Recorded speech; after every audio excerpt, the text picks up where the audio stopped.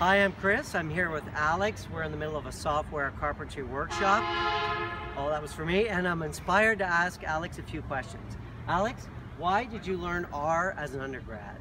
So I was actually obligated to learn R as an undergrad when I was coming here at York University. My honors thesis supervisor said I absolutely had to. And although at first it was a huge obstacle, I ended up um, loving it and getting really into it and reminded me of when I used to do a little bit of programming back in high school and that's how I kind of continued on with it. And your journey in learning R now as a grad student, has it changed or like were there thresholds and now you feel like it's a really different process or is it kind of the same process throughout?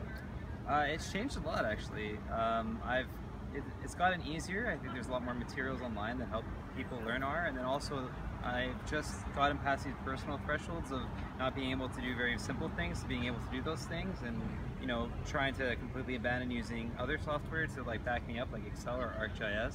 So I only use R and now it just it's almost increased exponentially. I use it more and more for more and more things.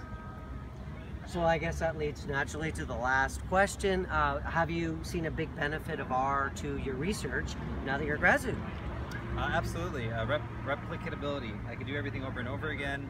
Um, it's made my life a lot easier because I've already struggled through a bunch of stuff. Now I can just copy and paste data and I don't need to worry about going through the same analyses and all the struggles that I did there.